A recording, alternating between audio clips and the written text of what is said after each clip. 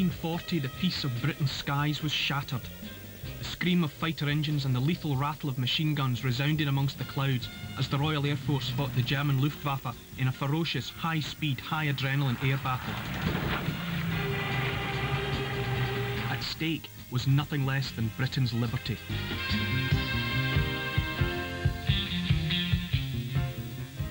Together with our squadron of archaeologists, Tony and I touched down at Hornchurch. We were here to investigate the legendary role played by its airbase in the high wire duel that truly was the Battle of Britain. Just lift it. Hornchurch has an extraordinary history stretching right back to 1915 when it was built to defend London against German Zeppelin attacks in the First World War. During that time, it quickly earned a reputation for daring do when one of its pilots became the first man ever to shoot down a Zeppelin.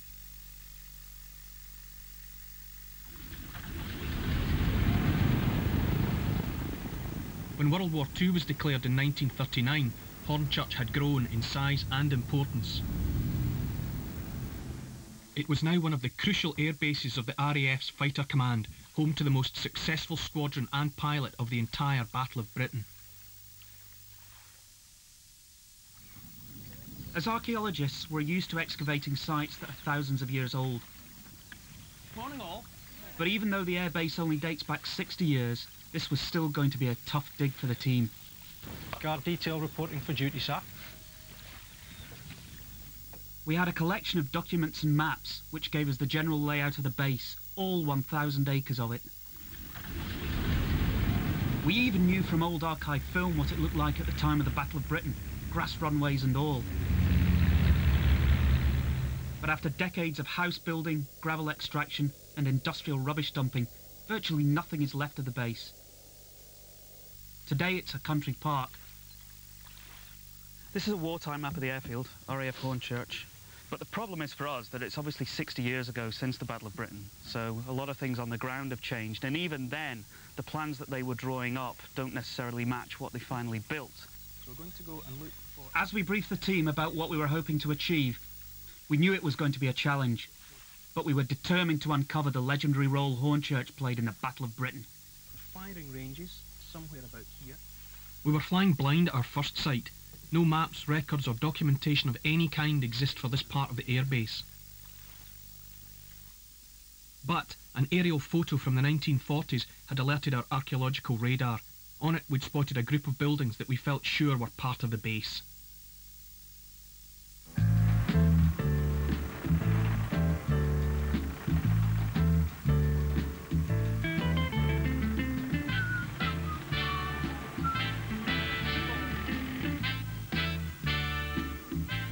Our geophysical survey of the area had shown some interesting circular anomalies, but the only way to find out what was here was to dig it.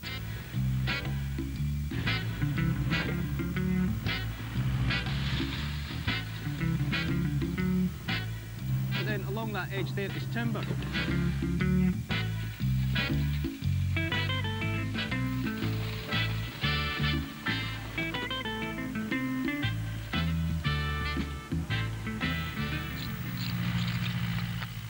Trying to work out what we're dealing with here.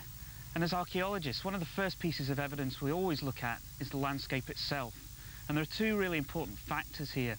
One is that we're some distance away from the airfield. RAF Hornchurch is down in the valley, just down below us. And as soon as we got up here, it was quite obvious that we had a great view all the way around, 360 degree view. And over there, just over that ridge, we've got the River Thames. And we know that the Luftwaffe, the German pilots, were actually using that as a navigational device to find their way into London. We've got a few ideas about what's going on based on what Tony's saying about the location. First of all, it could be an ammunition store because that would be kept well away from other buildings, well away from the rest of the base in case it took a direct hit. It might also be part of the, the radar network. There were radar stations along the south coast which were given the RAF early warning of enemy aircraft. But at a base like Hornchurch, you had another crucial link in that chain which was called direction finding or DF and that let the RAF keep track of our boys, the friendly aircraft in the sky. Finally, it could be the position for anti-aircraft guns, again covering this approach to the airfield.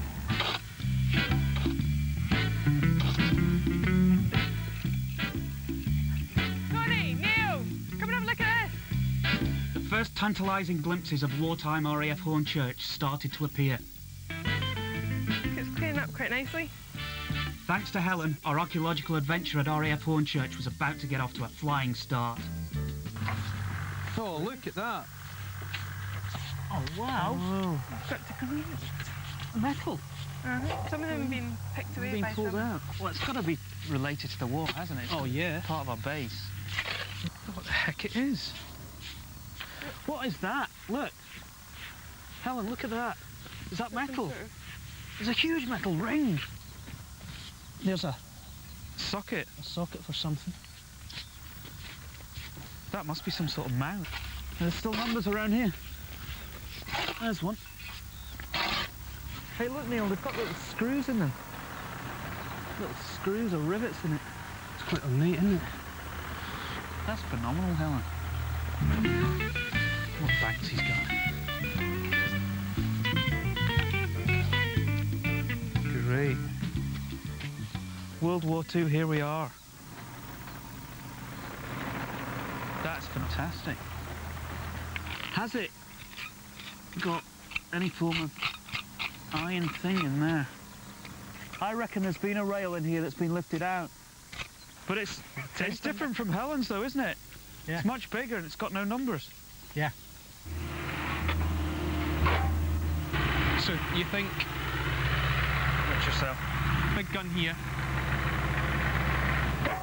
Rangefinder. rangefinder, and then all the associated buildings.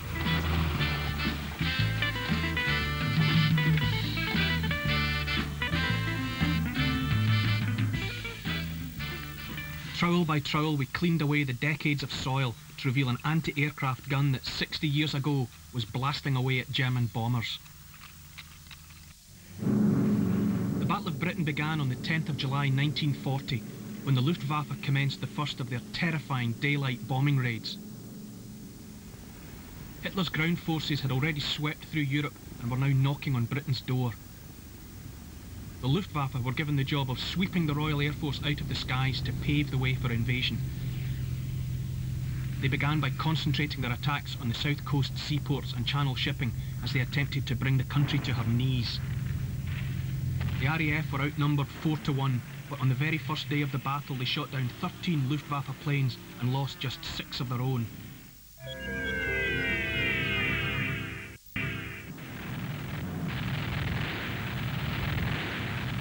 The man who masterminded the country's air defence during the Battle of Britain was Air Vice Marshal Park. From his headquarters at Bentley Priory, he coordinated the 51 air bases of Fighter Command. These were subdivided into groups and sectors. Hornchurch was a sector headquarters. Hornchurch was a really important place during the Second World War, and because of that, it needed to be protected. And as well as the planes, one of the most important means of defence were anti-aircraft guns. And that's what we've got here. And we can even see in the middle, we've still got the huge iron rods that the gun would have sat on. It had been fixed in place. You still see the screw threads on some of these where the gun would have been bolted down. And it would have turned right the way around, all 360 degrees on this concrete base, allowing it to fire anywhere at any point in the sky. And these are huge guns. They had a they had an up, upper range of around 35,000 feet, and that's the sort of range that these big German bombers were coming in at, coming into bomb Hornchurch and London. But hitting planes at that height isn't a straightforward thing to, to be able to do. So what they would need is quite a sophisticated sighting system. And we think what we've got away from the gun, where Helen is, is some sort of sighting device. What we have here is a metal, an iron disc in the middle with sockets in it, with holes in it. But around that disc, we've got these lovely little brass numbers set into the concrete. And each of these numbers refers to a point on the compass.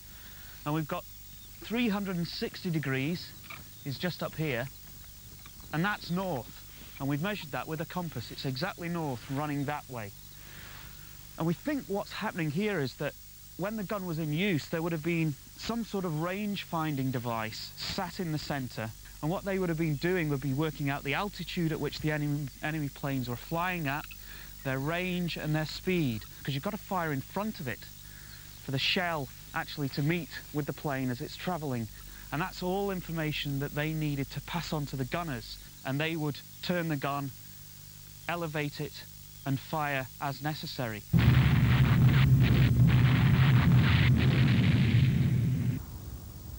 Anti-aircraft guns, the Spitfires and all the vital communications needed to keep Hornchurch functioning were controlled by the operations room, or OPS as it was known. This was the nerve centre for the base. Operating the radio, the teleprinter and anything else that was needed in OPS was 18-year-old Joy Caldwell. We'd invited her back to the base to give us a sense of what it was like during the battle. Right, Joy. Right, you had that up, up Yeah. there. Because, you know, I was blown up here. Blown up. Yeah. You were actually hit by a bomb. Oh, yeah. Lord. Yeah. What was that? Joe was actually hit by a bomb. Oh, yes. They didn't miss me all the time, you know. I was going into Ops one day and uh, this bomb came down. I don't know. Didn't hear it. And I was blown through the doors of, of Ops onto the uh, over-the-counter of signals. Really?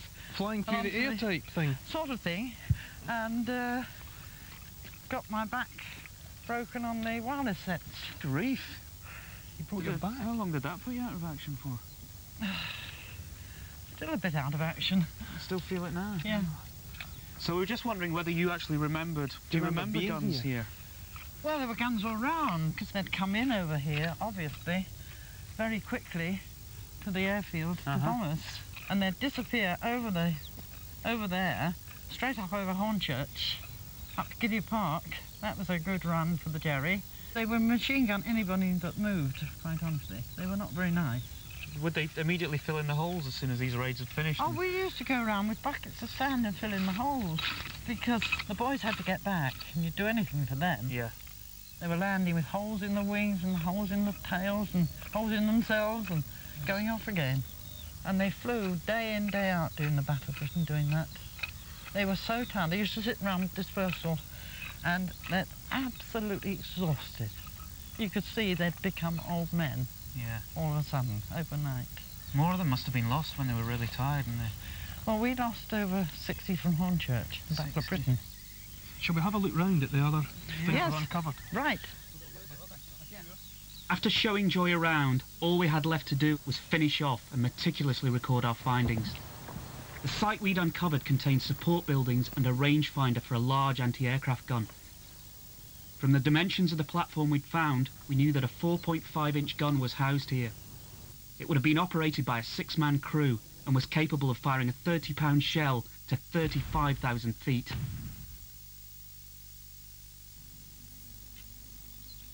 Soon the airbase would need all the firepower it could muster, because at the beginning of August, one month into the battle, the Luftwaffe changed their tactics.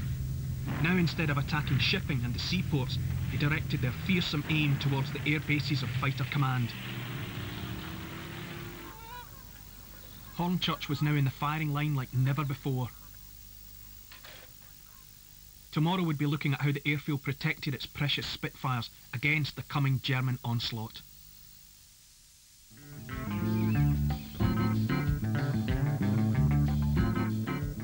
During the battle, Hornchurch and the 1,500 men and women stationed here were bombed more than 20 times.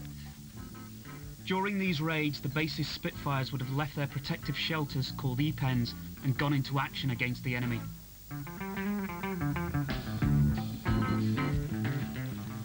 But as soon as they'd run out of fuel or ammunition, it was back down to earth and back into the E-pens.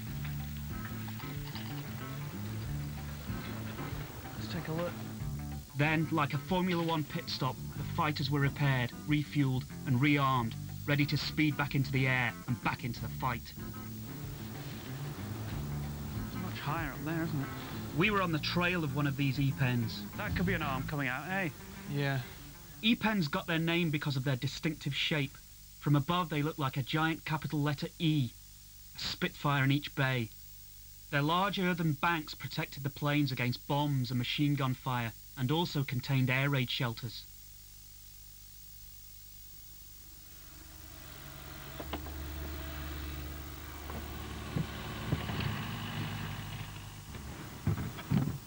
Oh, oh, oh, oh there she is. Yep, we'll just look it back at that dead. Yeah, it's coming off on that. We were sure we'd found part of an E-pen, but which part?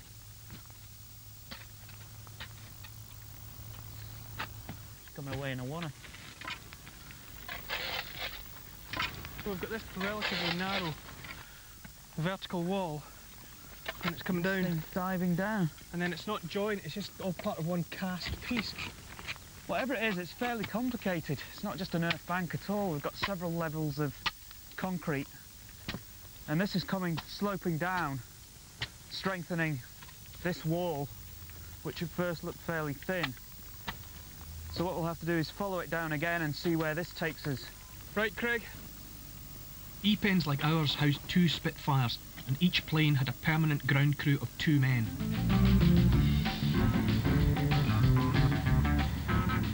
Leaving the others to it, we were on our way to meet Dave Davis, one of the men who'd worked in the E-pens to keep Hornchurch's Spitfires flying. We looked upon it as our plane. We let the pilot fly it, in a manner of speaking, you know. On loan. exactly. And uh, hope he didn't damage it. And, well, quite often he did, or the enemy did. Yeah.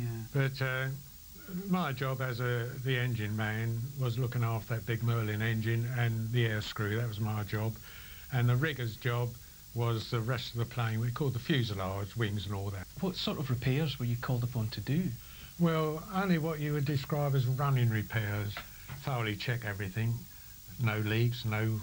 Because there was the engine there. I mean, it was absolutely surrounded with pipes and wires and God knows what. You could barely see the engine, you know. And you had to check all that lot because a very, very slight fuel leak when it was on the ground, when it got up to 40,000 feet with a low air pressure, it could become a very badly, you see. So we had to be very, very careful indeed to see everything was okay before it took off again. And did you ever see them coming back badly shot up, bullet holes?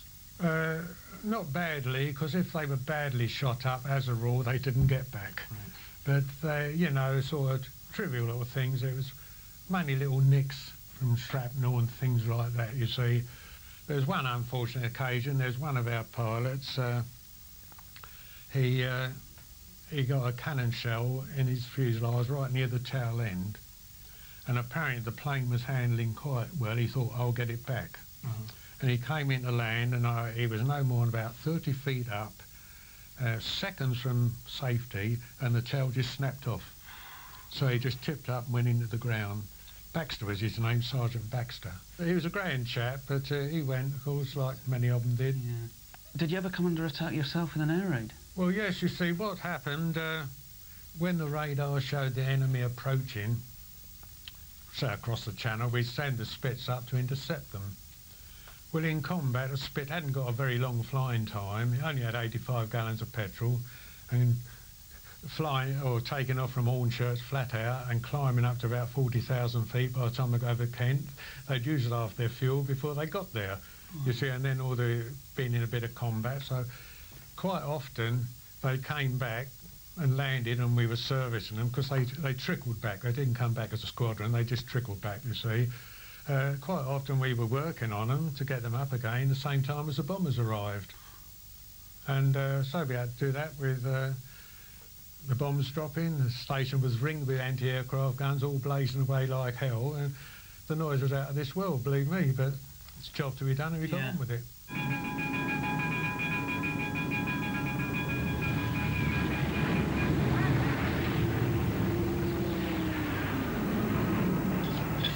Dave had really brought the E-pen we'd uncovered back to life for us. Now we'd just got to finish off and record our work. I'm standing on the edge of the concrete apron that was like the car park, if you like, for the Spitfires while they were on the ground and they were in here parked and tied down. The main thing you would have seen at an E-pen during wartime was an earthen bank that was providing most of the protection for the planes on three sides. This concrete wall here would have been right up against that earthen bank and helping to keep it from slumping down. Stepping into this that looks like a void now, but it would in fact have been the start of the bank, rising up here in this sort of shape to provide maximum protection. And that was being held up and supported to some extent by this internal structure. This would have been underground.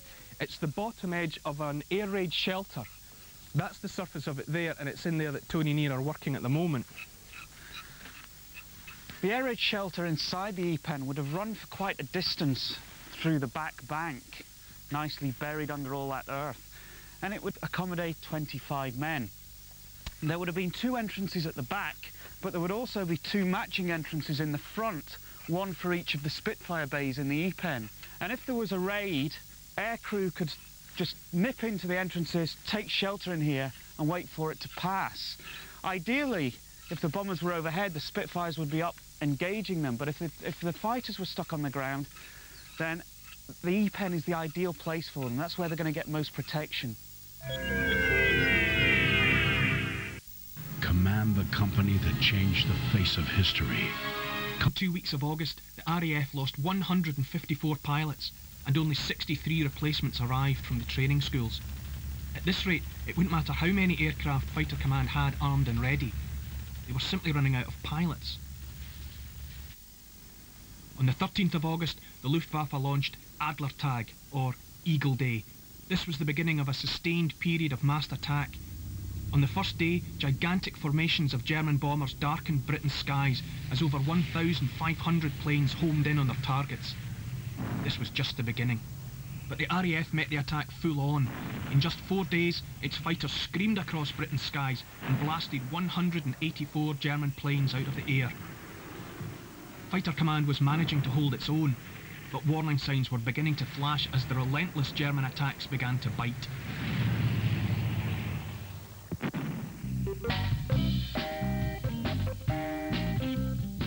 It was in the skies above us just 60 years ago that Britain's liberty hung by a thread. Magnificent.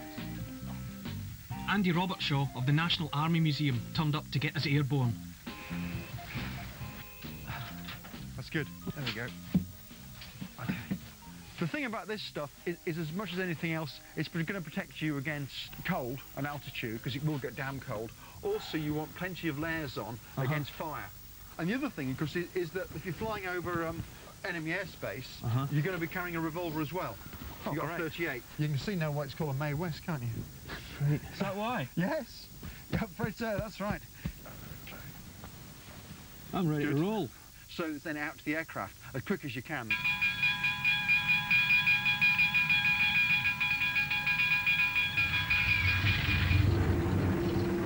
Despite having shot down two German planes for every one they'd lost, Fighter Command still remained heavily outnumbered. After eight weeks of relentless attack by the Luftwaffe, the RAF were still in the battle.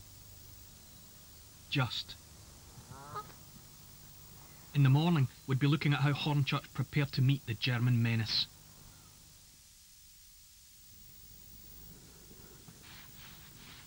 Just as the pressure of German attacks on Britain's airfields was becoming critical, the Luftwaffe once more changed their tactics.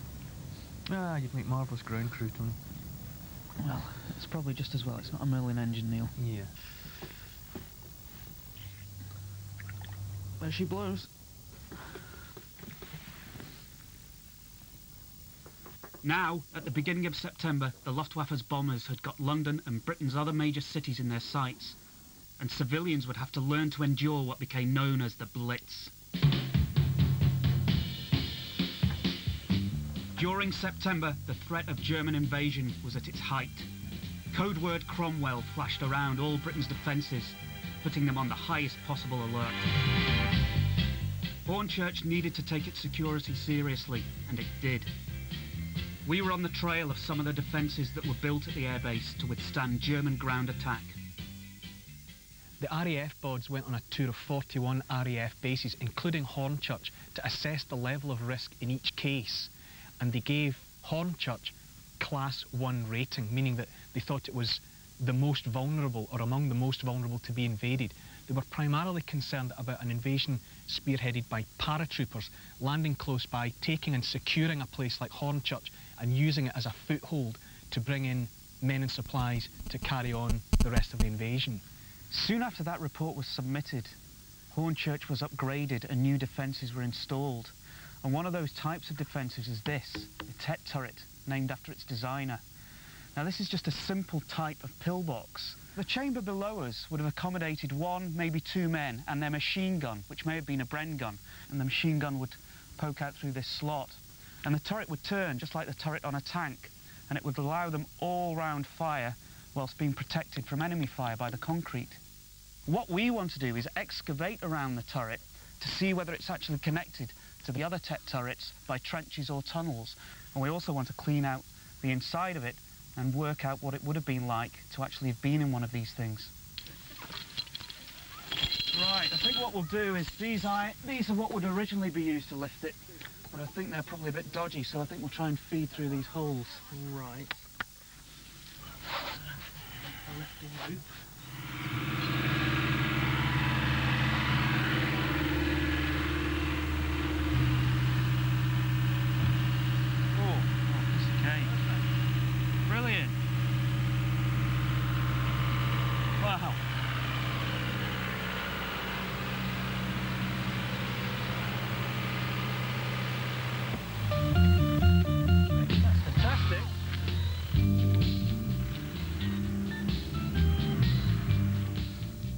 The team started excavating the first Tett turret, we moved over to a second one just behind it and immediately struck lucky.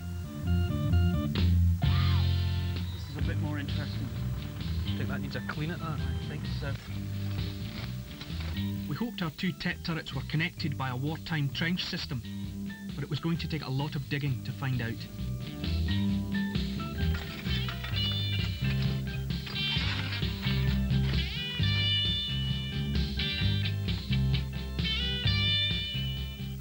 The team carried on excavating the Tett turrets, we went off in search of another important component in Hornchurch's defence strategy, the pillbox. Uh, Neil, you might want to move from... Caterpillar tracks over your back aren't going to look good. The base had over 20 pillboxes scattered around its perimeter, but one of them in particular had caught our eye, because very unusually it had no visible entrance. But we were determined to find the way in. There must be somewhere a trapdoor or a tunnel which gives access to the underneath part. And that's what we've been looking for all around the, the edges of the pillbox. And because there's such a complicated means of access to it, uh, we're thinking it might be something special. It might be some kind of underground control or command centre.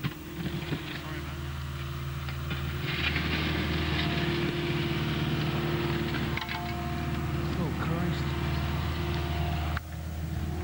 Oh, in the name. That's it. Hey! It's just dropping away for ages. Huge, huge hole. Who's got a torch?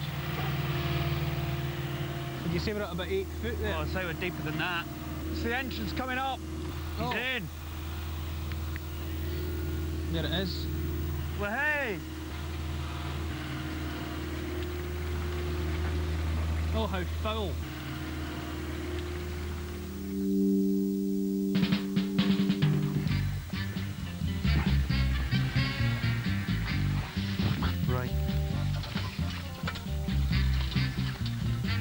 Take a bit of digging out. I think we've just got the top of the doorway. Oh, if my mother could see me now.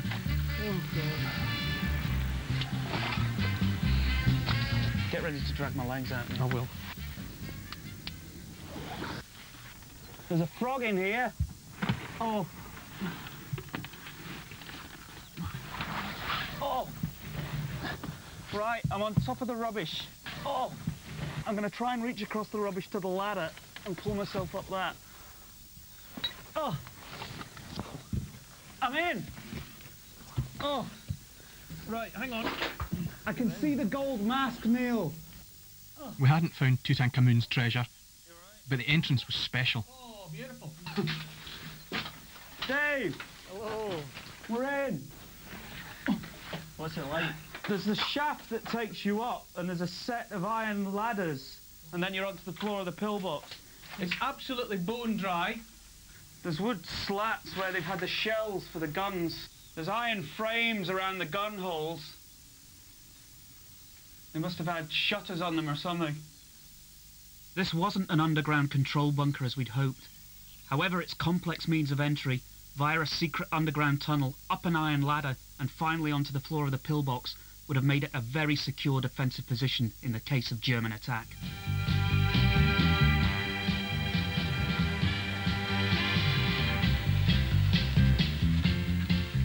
During the war, Hornchurch's defences would have been deliberately concealed to fool the enemy. Now, like much of the country's World War II heritage, time and neglect have conspired to hide them again. Tett turrets are a prime example. They're extremely rare critters, including the two we were excavating, there are only six known to exist in the whole of Britain. Hold on, Tony. Just like Spitfire pilots, archaeologists need to be observant, and throughout our stay at the base, we kept our eyes peeled. In yonder bushes. Oh, that's one.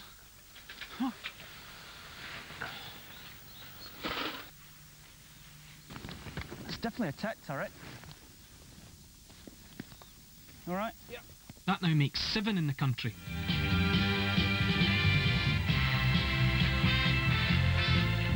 Flushed with success, we continue to hunt down these shy creatures. The airfield is one and a half miles long, but after a comprehensive search of every bramble, bush and bump on the base, we'd managed to track down another two Tett turrets. Not bad collection, eh? We'd now raised the grand total of Tett turrets known in Britain from six to nine. But up in the air, the responsibility of Britain's defence rested on the courageous young shoulders of Fighter Command's pilots. Just 20 years old, Peter Brown was one of the few who took off from Hornchurch in his Spitfire and fought in the Battle of Britain.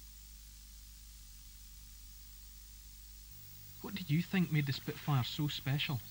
We used to have a saying in the Royal Air Force, and I'm sure they do now, that if an aeroplane looks good, it is good, and if it looks rotten, don't fly it if you can avoid it. Not, not only did the Spitfire look good, but it looked beautiful. Yeah. And therefore, to all pilots, it was beautiful. You felt part of the Spitfire. You were bonded with it. And so if you wanted to see anything, you didn't necessarily turn your head around. You turned the Spitfire around, if you can see what I mean. What was the most frightening aircraft, German aircraft, to go up against? I would think, unquestionably, the, the 109. Um, the worst thing that could happen to a pilot was to be bounced. And to explain that, to be bounced is to be attacked by an aircraft you hadn't seen, and you're dead and you don't know that it's happened to you.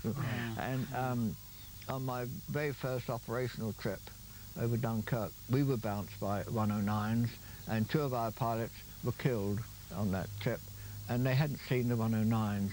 And all the training in the world can't train you to meet real combat with death very, very close to you. How did it feel to shoot down your first Messerschmitt? Um, oh, a- I know it, it, it, it sounds simple, but it was very satisfying. um, I didn't feel enormous exhilaration. I didn't want to sort of, you know, cheer or anything Yeah. like that. It was kind of a professional job. That's what I've been trained to do. And also, of course, I was up there because I wanted to defend my country. And uh, to shoot down the enemy was tremendously satisfying. And um, uh, I, after the first one I shot down, I landed nearby, saw the intelligence officer, and he drove me out to the pub where the pilot was being held as a prisoner. And um, I definitely wanted his swim vest, it's his Mae West, because that was going to be my evidence that I'd shot him down. And um, also he'd got um, his German wings on, and I wanted those as well. Now, he was being guarded by a very small soldier with a very large rifle and, and a bayonet on the end. And, you know, I was a little bit apprehensive being with this six-foot German pilot. Well, we had difficulty in getting the badge off, the, the wings off, and so he borrowed the rifle and the bayonet from the guard to use the bayonet to undo the badge. To my great relief anyway, he, he passed it back again, and uh, I still have uh, Wow. his, his wings. As Peter battled it out up in the sky, the defences down on the ground were in a state of high alert. Back at our two Tett turrets, the search continued for a wartime trench system that helped defend this part of the base. Amazingly, what we've got is a trench coming out of the back. Um, this corrugated iron has actually been used to line the walls of the trench to stop the soil from falling into it. And we've got that side of it and that side of it. So this is the entrance, the hidden entrance, actually under the concrete slab into the turret itself. We've opened up another area here, again looking for more trenches. There does appear to be a trench in there, quite a deep one. So all of this would have allowed men to move in safety even if they were under attack. They wouldn't be moving over open ground where they'd obviously be easy targets for enemy fire. So they're crouched down into these shelter trenches or communication trenches, running from one fire position to the other where they can man their machine guns in the turrets. Our best preserved Tett turret was this one here. This is the one we took the top off to actually get inside. And as Ian worked his way through it, some really amazing stuff started to come out. We've got these little glass bottles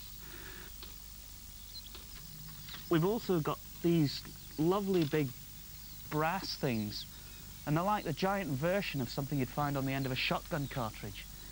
And we think these are the ends of flares.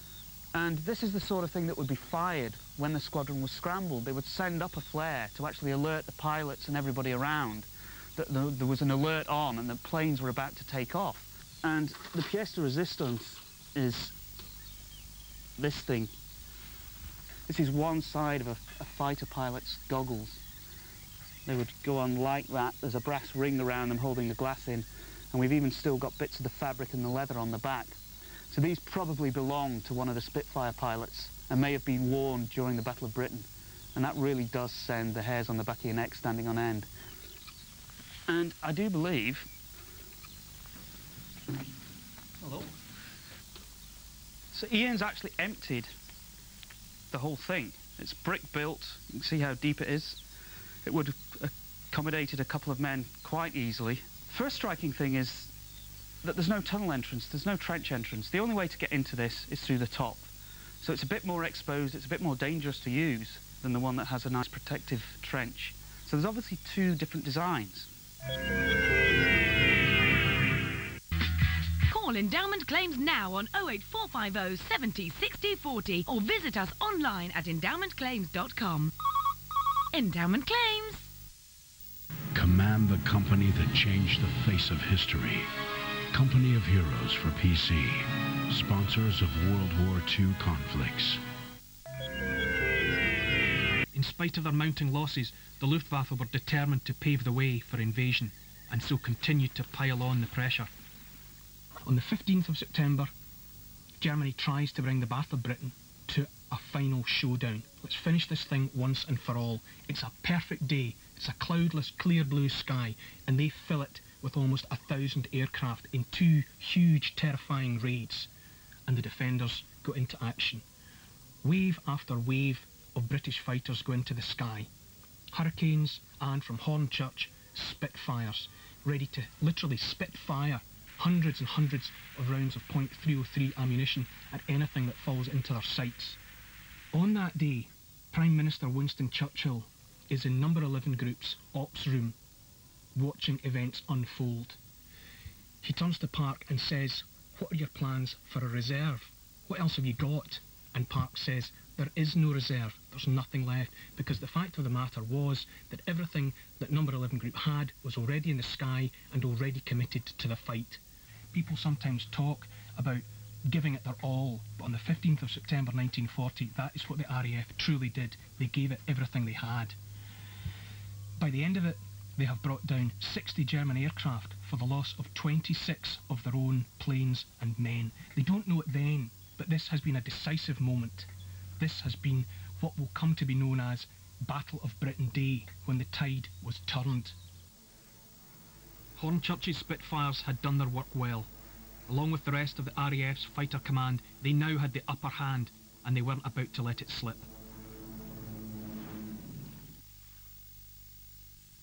Our work on the Tett turrets was almost complete. All we had left to do was put the lid back on, which, according to an archive photo, looks simple enough. One, two, three! Watch those toes. Lift it, lift it, lift it, lift it! Right. Whoa, poor baby. That's not good for That's you, not good for me at all. Ready? Yep. Two, three, go. Oh, God. Oh! Oh! Whoa! How's that? That's not bad, actually. Oh, well done. We'd become very attached to these rare creatures and their half-ton turrets. Before Andy left, we proudly showed him some of our finds. Helen and I found the remains of breakfast. look at that. Oh, yeah, an egg cup. And look at the bottom. An RAF egg cup. Yeah. Brilliant. Wedgwood too, 1942. Wonderful. But what's interesting, of course, is everyone else is on powdered egg. Obviously, the RAF got the um, egg ration. And then, in a trench just in front of one of the Tett turrets, Yes. we got something mechanical. What do you think? Yes, you're right. It's mechanical. It's got a needle on it, which is still spring-loaded. Mm-hmm. We haven't got the dial, but you can see where it would have been fixed. I wonder if that could be a ch- hollow tube going to the outside of the aircraft, which would then be air pressure from outside, and that might then give you airspeed. We thought it, you know, sort of out the dashboard of a Spitfire. Yeah. We were metal detecting where we knew from the wartime maps the machine gun range Yeah. should have been, where they harmonised the machine guns on the Spitfires. And these were what we were looking for. 303 bullets.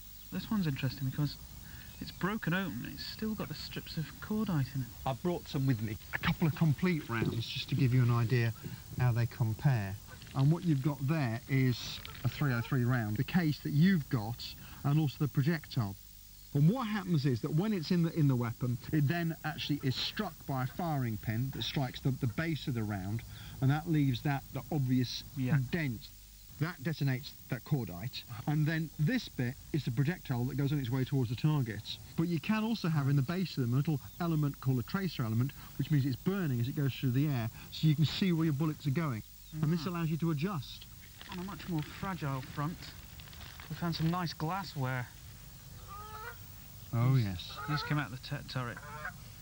We think there's some sort of medical ampule with the cap that the syringe would go through. And we don't know what was in them. We thought the most obvious thing would be morphine, some sort of painkiller. This is the sort of thing that you'd run out to an aircraft with if someone's radioed in to say that they've been injured. And that has dressings in it, it has instruments, it's got um, a tourniquet. We got one of these. Really? Yeah, it's not chrome, it's like brass, corroded brass. Ta-da! Yeah, absolutely. Smashing. Isn't that superb? That's the anchor for this. This is called the Samway tourniquet. It's a standard tourniquet from the middle of the First World War onwards. There we are. You, you're trying to, you've landed on, on the, the airfield. You're losing blood. I won't do it too tightly. Goes round twice. Give me some morphine Uh, quick. uh, yeah, absolutely. You then and hook that through there like that. It goes back on itself like that. Simple but effective. Simple but effective. And that's then the anchor that holds it in place. So we've got a whole uh, Somebody's... dressing Well, station. you've got bits and pieces just like this. No, this is really good. Just Given what it finding it here. Brilliant. It's one half of a set of goggles. isn't it? Because these ones are, are later than, than the, the Battle of Britain. Those ones with those sectioned faces. But that's the, the Mark II, which comes in in 38 and goes through to the end of uh, 1940, which is just right for the Battle of Britain. Right eye, it's got the fabric and stuff on the back. Yeah, Unbelievable. that's fantastic. Some fantastic. sort of perspex. Yeah, well, you've got a milked coating on it to stop it from, from splintering. So if you get fragments coming through your windscreen, you don't want all the bit lumps of glass going into your eyes. Uh-huh. So it would be like a laminate, like a sandwich, Yeah. with a glass in the middle of it. Right. But what better thing to find at RAF Hornchurch? A pair of Spitfire fighter pilot's goggles.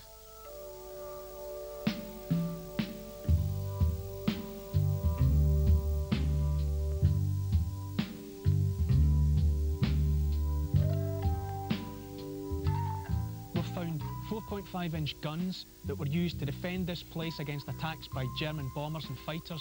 We unearthed Tett turrets and one of the pillboxes that were poised, ready to try and repel an invasion. At the other end of the scale, we found an egg cup, a little glimpse of the ordinary everyday life that had to go on in amongst all the fighting. And we found this place, an E-Pen, home of the Spitfires. The Battle of Britain ended on the 31st of October 1940, nearly four months after it had begun.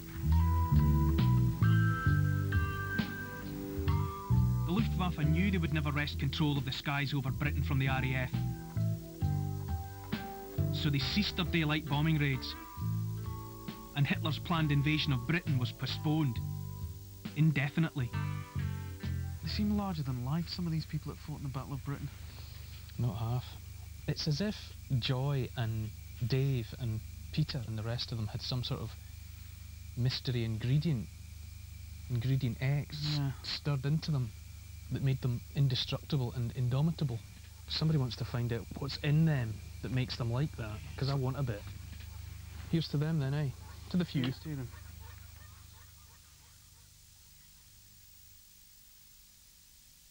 Command